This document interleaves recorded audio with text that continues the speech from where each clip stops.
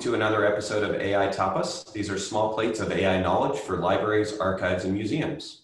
Today, we're going to talk with Andre Valtso from the National Library Norway about how do you actually do an AI project, uh, breaking it down just into mechanical steps. Andre, the National Library of Norway has done a lot of local experimentation and projects with AI. How do you approach them? Uh, at the National Library, we have de developed a seven-step approach for solving, for creating AI classifiers. And I will walk through all the seven steps here now. Uh, the first step is to define the problem. What, what is the problem? Why, why does the problem need to be solved? What, what do we want to achieve? How can we solve the problem? Sketching a, a simple solution for how to approach this problem. And is this a classification problem?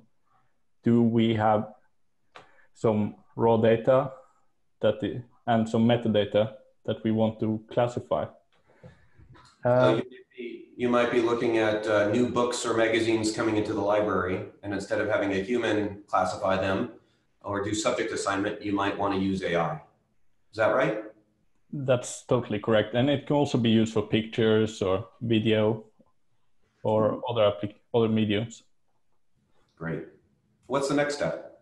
The next step is to define the metrics for success what what kind of metrics do you want to use and what is your target value for this metric in um, machine learning projects you have a lot of metrics you can use to measure performance and the most normal ones are f1 accuracy precision recall and we will explain this more into depth in uh, a later video but the important thing is that the metric you choose should be driven by the problem that your application is intended to solve. So you, you take a, your business problem or your objective, and then you characterize that in terms of empirical observable numbers that you can test against. That's totally correct, yeah. All right, I'm learning. Uh, what comes next? The next thing is to gather relevant data for solving this problem. You need some data, for example, books, and you need some metadata that is related to this. And you need a certain amount of this data.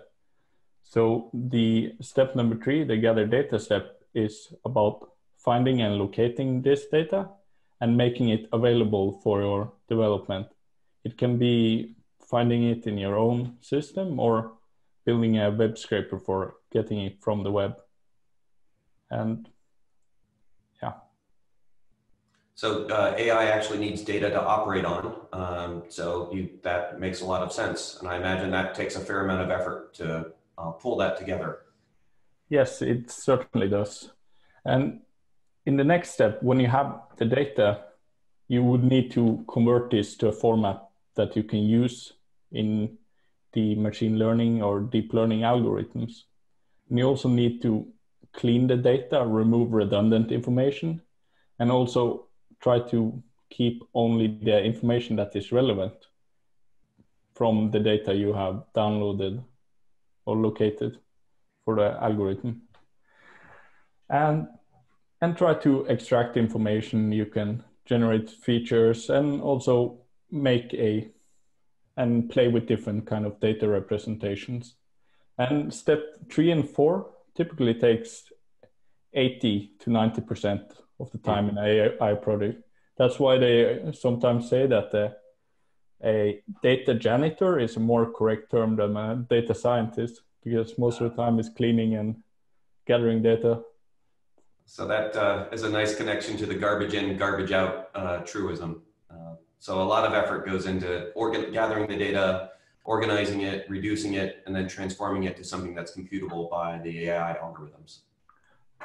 That's correct. Uh, garbage in, garbage out expression applies really well to this application too. Uh, once you have data that is ready for the AI algorithm, you can build and train a model.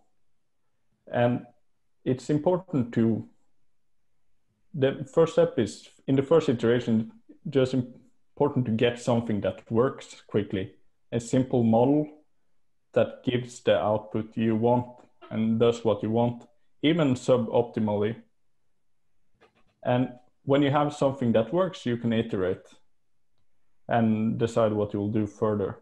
But uh, like uh, the goal of step five is to train the model from the data you have, and then you you go to step six, where you evaluate the model, the results of the model, by testing the model on a test set.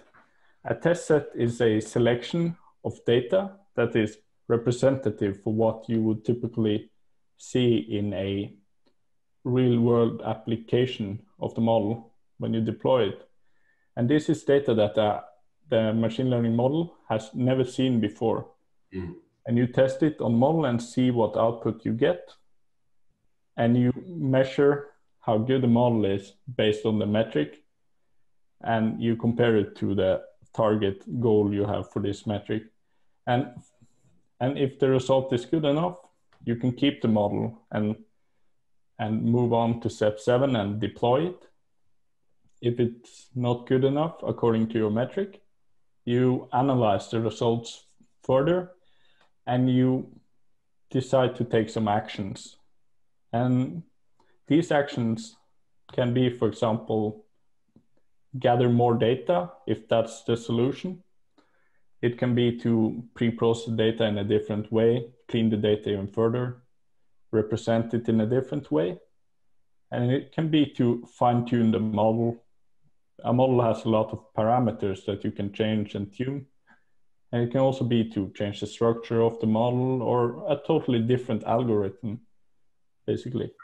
That's why it's so important to try and fail and get something up and running quickly that you can iterate on and test on test data.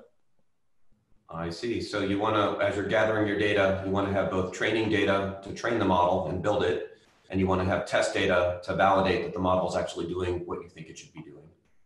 That's perfectly correct. Yeah. Well, I think uh, this has been a wonderful exploration of some of the mechanics of uh, developing an AI system and an AI approach within an individual institution. And I look forward to a future video where we can actually see a live example. Thanks, Andre. Thank you. Bye.